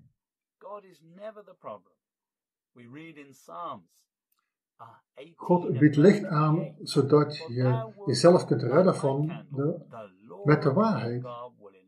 Telkens wanneer je tot de conclusie komt dat God het probleem is, dat is dan de verkeerde conclusie.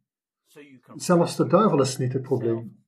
De mens is het probleem omdat hij ontwetend is in het vlees, egoïstisch is en uitnodigt tot zonde en gemakkelijk in verzoeking komt omdat hij iets voor zichzelf wil doen in plaats van God op de eerste plaats te zetten. Jezus zegt niet aan ieder die tot mij zegt, Heere, Heere, zal ingaan in het koninkrijk der hemelen. Maar die daar doet de wil van mijn Vader die in de hemelen is. Jesus said in Matthew 7 and 21. Velen zullen achterblijven omdat ze hem niet tot Heer hebben gemaakt. Ze accepteerden gewoon Jezus als hun verlosser. Ze zochten niet naar de minimale voorwaarden om gered te worden. Nou werd hen verteld dat het enige wat je hoeft te doen is een biechtgebed te zeggen en enkele woorden te herhalen. Maar dat is niet de waarheid. Toen Jezus de eerste keer kwam, is dat wat we lezen in het Evangelie in Johannes. In Johannes 1, vers 1 tot en met 11. In het begin was het woord en het woord was bij God en het woord was God. Dit was in het begin bij God. Alle dingen zijn door hetzelfde gemaakt en zonder hetzelfde is geen ding gemaakt dat gemaakt is. In het begin was het woord en het woord was bij God en het woord was God. In hetzelfde was het leven en het leven was het licht van de mensen. En het licht schijnt in de duisternis en de duisternis heeft het niet begrepen. Er was een mens door God gezonden, wiens naam was Johannes. Hij was in de wereld en de wereld was, is door hem gemaakt. En de wereld heeft hem niet gekend. Hij is gekomen tot de zijnen en de zijnen hebben hem niet aangenomen. Jullie moeten opnieuw Johannes 1, vers 1 tot en met 11 zelf lezen. Omdat er een uh, Bijbelvers ontbreekt wat ik heb gelezen. But was sent to bear witness of that light. Verse 9. That was the true light, which lights every man that comes into the world. Verse 10. He was in the world, and the world was made by him. De Joden accepteerden Christus niet als hun Heer. Degene die Jezus wel aanvaarden, volgde hem. Je bent in zonde geboren en jouw ziel is als een batterij van binnen die zonder kracht zit, omdat ze niet met hem verbonden is. Jouw ziel wordt ook vernietigd door het raadplegen van je eigen verstand. Je ziel is ontworpen om van God te horen. We lezen Jesaja 55 vers 3. Neig uw oor en kom tot mij. Hoort en uw ziel zal leven. Want ik zal met u een eeuwig verbond maken. En u ge geven de gewisse weldadigheden van David. Door te luisteren en te gehoorzamen kan zijn leven weer in ons en door ons heen komen. Paulus zegt, en ze zeiden, geloof in de Heer Jezus Christus en je zult zalig worden, gij en uw huis. In de Amplified Bible is datzelfde Bijbelvers als volgt. Geloof in de Heer Jezus Christus. Geef jezelf aan Hem over. Haal jezelf uit je eigen onderhoud en vertrouw jezelf toe aan Zijn eigen onderhoud. En je zult gered worden. Zullen jullie klaar zijn als Jezus komt en deel uitmaken van de eerste opstanding? Je moet geloven in de Heer Jezus Christus. Je kunt in de verlosser Jezus Christus geloven en toch achterblijven. Wanneer je gelooft en Hem als Heer van je leven aanvaardt, zijn er drie dingen die je zal doen. 1. Je geeft jezelf aan Hem over en vestigt Hem als Heer. 2. Je kijkt niet naar je eigen welzijn en troost in deze tijdelijke wereld. 3. Je luistert naar de instructies door de Heilige Geest, zodat Hij volledig voor je kan zorgen en je kan behouden. Jezus is degene die jou heeft gemaakt. Hij gaf jullie wat licht dat aan de hele mensheid werd gegeven en stuurde je hierheen. Hij kwam toen zelf om jullie uit de hel te redden. Jezus is het levende woord en hij bracht genade en waarheid. Mozes bracht de wet. En we zien in de wet een meesterwerk van kennis en wijsheid dat de mens niet kon onderhouden. De Joden maakten uiteindelijk plaatsvervangers met hun eigen verstand. Mysteries in de wet ver voorbij het verstand van de mens konden niet begrepen worden met een natuurlijk verstand. En er werden excuses gemaakt voor het rechtschapen zijn. Het doel van de wet was duidelijk. Paulus zegt in Galaten 3 vers 22 tot 26. Maar de schrift heeft het alles onder de zonde besloten, opdat de belofte uit het geloof van Jezus Christus aan de gelovigen zou gegeven worden. Doch eer het geloof kwam, waren wij onder de wet in bewaring gesteld. En we zijn besloten geweest tot op het geloof, dat geopenbaard zal worden. Zodan, de wet is onze tuchtmeester geweest tot Christus, opdat wij uit het geloof zouden gerechtvaardigd worden. Maar als het geloof gekomen is, zo zijn wij niet meer onder de tuchtmeester. Want je zijt allen kinderen Gods door het geloof in Jezus Christus. Vers 25.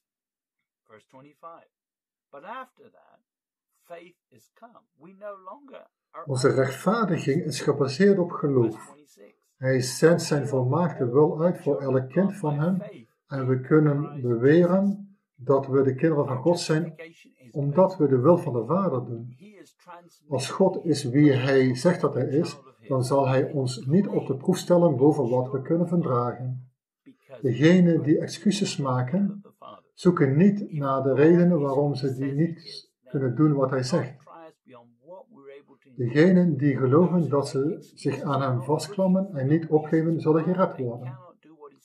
Je weet dat wat God ook nodig heeft, dat zal hij eindigen. Dat wat God ook begint, dat zal hij eindigen. Een geloof dat gemakkelijk opgeeft is niet zuiver. Jezus zegt tegen zijn discipelen in Lucas 11, vers 9 en 10. Ik zeg u, bid en u zal gegeven worden, zoekt en je zult vinden, klopt en u zal opengedaan worden. Want ieder die bidt, die, die ontvangt, en die zoekt, die vindt, en die klopt, die zal opengedaan worden. Jij bent heet als Jezus jouw leven, Heer van jouw leven stuurt. Wanneer je doet wat Hij wil.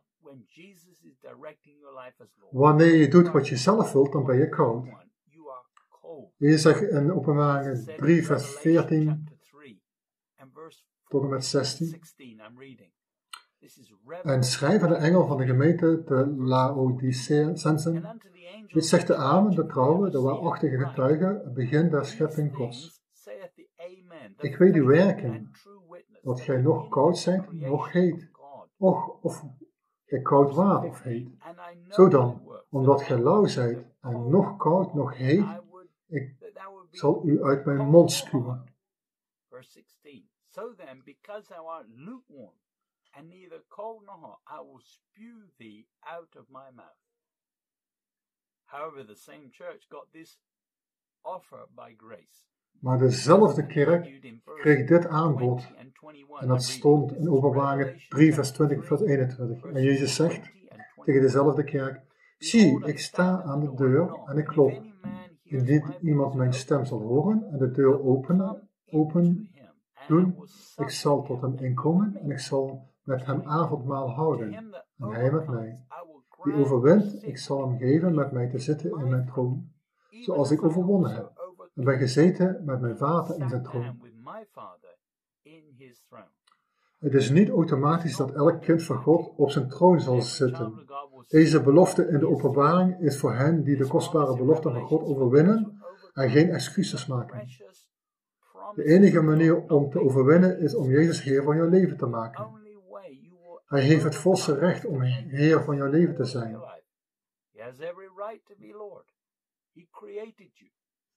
Hij heeft je gemaakt, hij heeft je hierheen gestuurd en hij stierf voor jou. Jij behoort tot hem. Paulus zegt, of weet gij niet dat uw lichaam een tempel is van de Heilige Geest, die nu is, in u is, die gij van God hebt, en dat gij van uzelf niet zijt. De kerk van Laodicea in het boek van de openbaringen was lauwarm.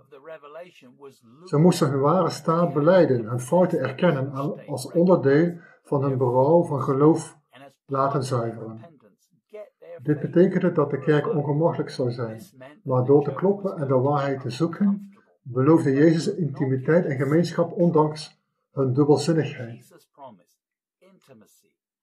Jacobus zegt over spelers en over speelsters.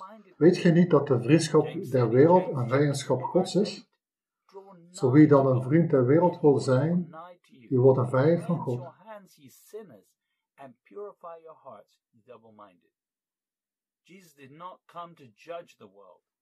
Jezus is niet gekomen om de wereld te beoordelen. We lezen echter dat er een oordeel is dat gebaseerd is op niet in het licht komen. Johannes 3, vers 17 tot en met 21. Want God heeft zijn zoon niet gezonden in de wereld, opdat hij de wereld veroordelen zou, maar opdat de wereld door hem zou behouden worden. Die in hem gelooft, wordt niet veroordeeld, maar die niet gelooft, is al reeds veroordeeld, omdat hij niet heeft geloofd in de naam van de enigboren Zoon van God. En dit is het oordeel dat het licht, licht in de wereld gekomen is, en de mensen hebben de duisternis liever gehad dan het licht, want hun werken waren boos. Want een ieder die kwaad doet, haat het licht en komt tot het licht niet, omdat zijn werken niet bestraft worden. Maar die de waarheid doet, komt tot het licht, omdat zijn werken geopenbaard worden dat zij in God gedaan zijn.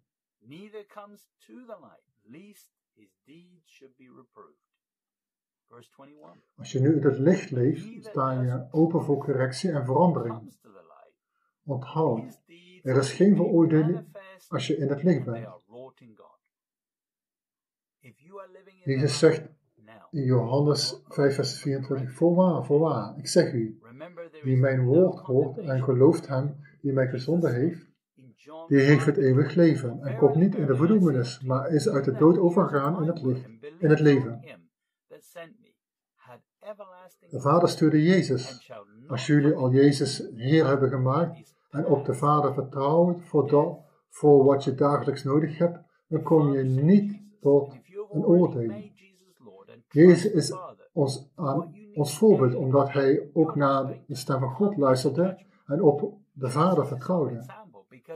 Hij zei, ik kwam van mezelf niets doen, gelijk ik hoor, oordeel ik. En mijn oordeel is rechtvaardig. Want ik zoek niet mijn wil, maar de wil van des vaders die mij gezonden heeft. Ik hoef alleen maar God te behagen en zijn volmaakte wil te doen. Paulus zegt, zie dan de goedertierenheid en de gestrengheid van God. De gestrengheid wel over hen die gevallen zijn, maar de goedertierenheid over u, indien gij in de goedertierenheid blijft. Anders zult gij ook afgehouden worden. Die goedheid zit in het feit dat je nu genade krijgt, zodat je je kunt bekeren en stoppen van je met zondigen. Als je niet bekeert, ga je niet verder in die goedheid. Leven in het licht betekent zijn heerschappij aanvaarden en werken aan de dingen die hij je laat zien. Het bedekt de rest. Zet schrijf een, maak een notitieboekje op voor die momenten dat de Heilige Geest je overtuigt van zonde. En werk je eigen verlossing uit door in het licht te leven. We lezen Job 24, vers 13. Ze zijn onder de weerstrevens van het licht. Ze kennen zijn wegen niet en ze blijven niet op zijn paden. Als je God wilt leren kennen, dan moet je bij de paden blijven die hij voor jou kiest. Laat de Heilige Geest jou leiden. Je kunt geen heer van het proces zijn en zelfs maar beslissen wat je zult eten of dragen. Je kan eindigen zoals Petrus, zoals Petrus anders als, als het om voedsel gaat. We lezen in Handelingen 10 vers 14. Maar Petrus zeiden, geen heren, want ik heb nooit gegeten iets dat onheilig of onrein was. Als je wet en genade met elkaar vermengt, zal de Heilige Geest zich verzetten en dit laat zien dat je Christus niet volgt en dat je geloof niet rein is. Je moet besluiten om de wet los te laten en door de, mens, en door de mensgemaakte regels te verwerpen. Paulus zegt, Indien gij dan met Christus de eerste beginselen der wereld zijt afgestorven, wat wordt gij, gelijk gij ook in de wereld leeft, met inzettingen belast? Namelijk raak niet, smaak niet en roer niet aan. Welke dingen alle verderven door het gebruik, ingevoerd naar de geboden en leringen der mensen, die wel hebben een schijnreden van wijsheid en eigenwillige godsdienst en nederigheid, en in het lichaam niet te besparen, toch zijn niet in enige waarde, maar tot verzadiging van het vlees. Vers 23. Which things have indeed a show of wisdom in will, worship and humility. Er zijn maar twee regels in het koninkrijk van God. 1. Wat de Heilige Geest je ook zegt te doen, doe het. 2. Wat de Heilige Geest zegt niet te doen, doe het niet. Je moet dood zijn in Christus en de Heilige Geest gedachten naar jouw verstand brengen. Paulus zegt, doch God heeft het ons geopenbaard door zijn geest. Want de geest onderzoekt alle dingen, ook de diepte Gods. Comfortabele christenen zijn blij met hun eigen verstand te blijven gebruiken en te leren en in de duisternis te leven. Maar Jezus ging verder en vertelde zijn discipelen en die gekomen zijnde zal de wereld overtuigen van zonde en van gerechtigheid en van oordeel. Van zonde omdat zij in mij niet geloven. En van gerechtigheid omdat ik tot mijn vader heen ga en je zult mij niet meer zien.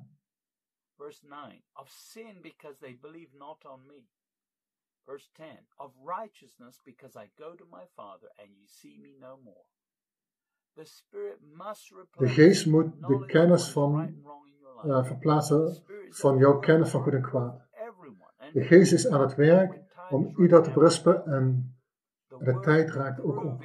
Het woord berispen wordt vertaald door Strongs woordenboek als volgt tot uh, veroordelen, overtuigen, een fout vertellen, berispen. Volgens Jezus zal de Heilige Geest twee dingen berispen. Eén, van de zonde. De Joden hadden duizenden wetten en zelfs een advocaat kwam naar Jezus toe om hen te verleiden met een vraag en vroeg uh, naar het grootste gebod.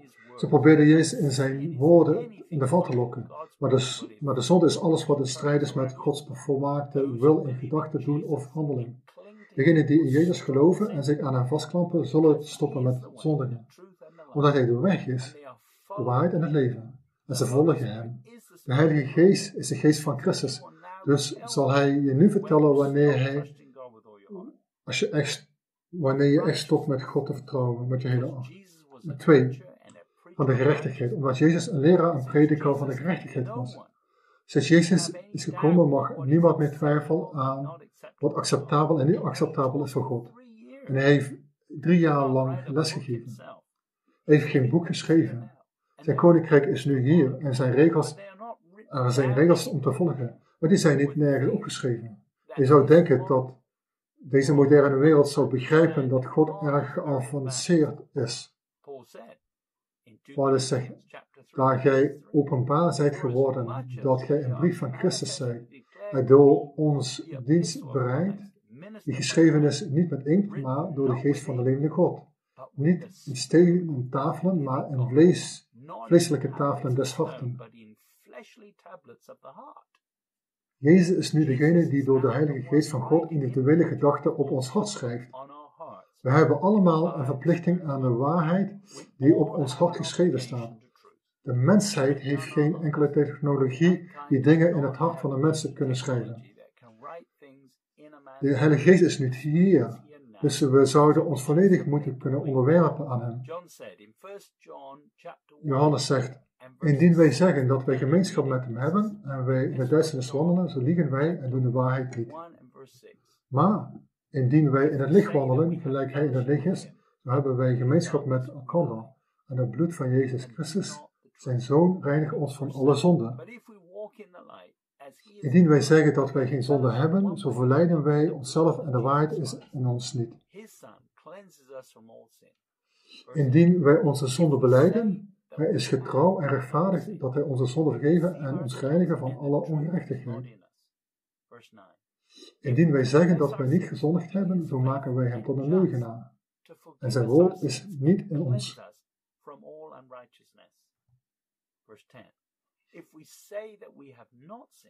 Hij brengt elke dag de waarheid door de Heilige Geest, zodat je altijd met meer zonde kunt vinden in je. Vertrouwen is bedoeld, is bedoeld om de leugens die je hebt geaccepteerd en nog steeds gelooft bloot te leggen. Dit kan, dat, dit kan zelfs gebaseerd zijn op vele zonden die je nooit echt goed gedaan hebt verwerkt. Zelfs wanneer je zondigt, is God trouw als je je zonde zult beleiden. Het is nu mogelijk om zelfs in het licht te leven en daardoor uit genade door geloof om hem te leren kennen. We lezen Jesaja 60 vers 19 en 20. De zon zal u niet meer wezen tot een licht des daags. En tot een glans zal u de maan niet lichten, maar de Heer zal u wezen tot een eeuwig licht. En uw God zal uw sierlijkheid. Uw, uw zon zal niet meer ondergaan, en uw maan zal haar licht niet meer intrekken. Want de Heer zal u tot eeuwig licht wezen, en de dagen van uw treuring zullen een einde nemen. We weten dat er in het eeuwige koninkrijk geen behoefte zal zijn aan licht, omdat iedereen die er zal zijn naar God luistert. Dat is ook wat Johannes zag. We lezen in Openbaringen 20 vers 1 tot met 7. En hij toonde mij een zuivere rivier van het leven des levens klaar als kristal, voortkomende uit de troon van God en van het Lam. In het midden van haar straat en op de ene en andere zijde der rivier was de boom des levens, voortbrengende twaalf vruchten, van maand tot maand gevende zijn vrucht. En de bladeren van de boom waren tot genezing der heidenen. En geen vervloeking zal er meer zijn tegen iemand. En de troon van God en van het Lam zal erin zijn. En zijn dienstknechten zullen hem dienen en zullen zijn aangezicht zien. En zijn naam zal op hun voorhoofden zijn. En aldaar zal geen nacht zijn. En zullen geen kaas nog licht der zon nodig hebben. Want de Heere God verlicht hen. En ze zullen als koningen heersen in alle eeuwigheid. En hij zeide tot mij, deze woorden zijn getrouw en waarachtig. En de Heere, de God der heilige profeten, heeft zijn engel gezonden om zijn dienstknechten te tonen hetgeen haast moet geschieden. Zie, ik kom haastig. Zalig is hij die de woorden van de profetie van dit boek bewaart. sent his angel to show unto his servants the things which must shortly be done. Verse 7. Je moet opschieten en leren om zijn stem te horen en te gehoorzamen voordat het te laat is. Het kennen van Jezus maakt deel uit van jouw erfenis. Je kunt niet met hem regeren en, en regeren als je nog in de duisternis leeft met behulp van je eigen verstand. God zal voor de zijnen zorgen. De vlekken zullen worden verwijderd als hij Heer van je leven is. Ondertussen kan zijn glorie nog steeds door hem heen schijnen door het geloof. Paulus zegt, en wij allen met ongedekte aangezicht de heerlijkheid des Heeren als in een spiegel aanschouwend, schouwende, worden naar hetzelfde beeld in gedaante veranderd. Van heerlijkheid tot heerlijkheid, als van des Heeren geest.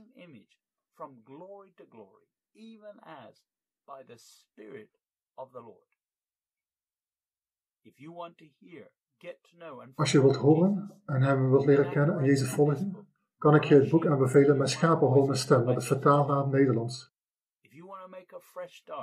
Als je een frisse start wilt maken, neem dan de beslissing om je dagelijks en regelmatig berouw van zonde te hebben en op een smalle pad te bevinden.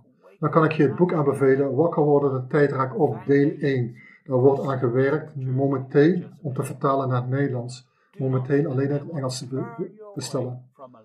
Laat de duivel je niet afwenden van de liefde voor de waarheid.